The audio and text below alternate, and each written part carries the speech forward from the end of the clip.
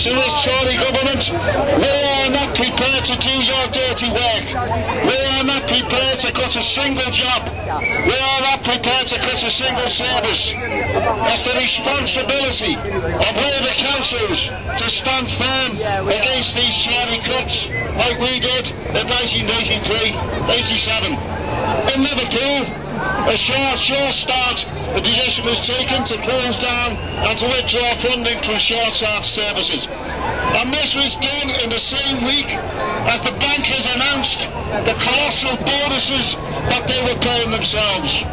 Well, Billy Ritchie of Barclays Bank paid himself a package worth 23 million pounds on the same day as services were withdrawn from the poor and the needy and the disabled. This is an obscenity which is taking place in one of the most wealthy, advanced industrial countries on the planet. And what we demonstrated in Liverpool, we are not prepared to carry out those cuts. Continually called upon the leadership of the Liverpool City Council to stay mum, to stand firm, to refuse to carry out a single cut or, uh, or withdraw funding from a single service. They say there's no alternative. There's always alternative to cuts.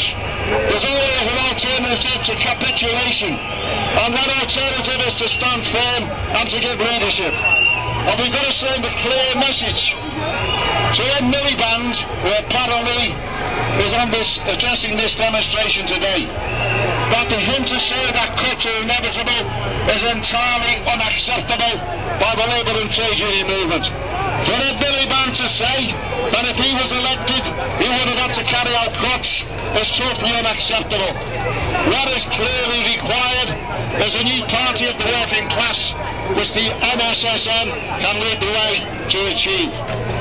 Because what we've had in Parliament for the last 12 years is three wings of the same party, all supporting and fundamentals the measures that were taken by Tony Blair, Peter Mandelson and Gordon Brown to enrich the already wealthy, to get the bankers their head, to cut regulation, and at the same time we are now, the working class is now expected to pay for the crimes of the bankers. Not a single banker is being charged. Not a single banker has ended up in jail.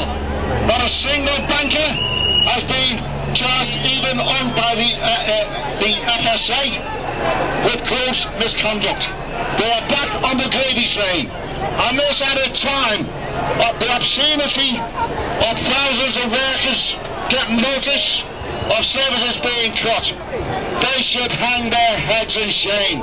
That these people who go straight from Oxford University, from Eton, into the Westminster Village, a cabinet of 22 millionaires that is demanding that these cuts should be taken and is demanding that local authorities implement those cuts is totally unacceptable to this movement.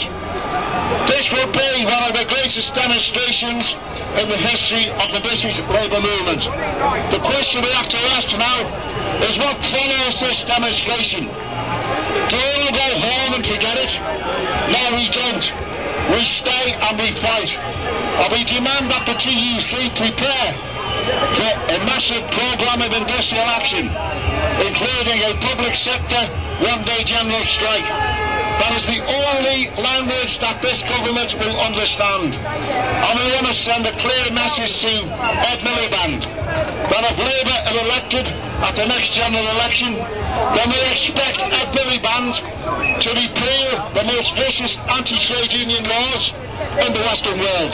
We expect him to restore all of the cuts that have been made. We will demand that rather than enrich the bankers, we nationalise the banks and place them under the democratic control of the British working class and of the community itself.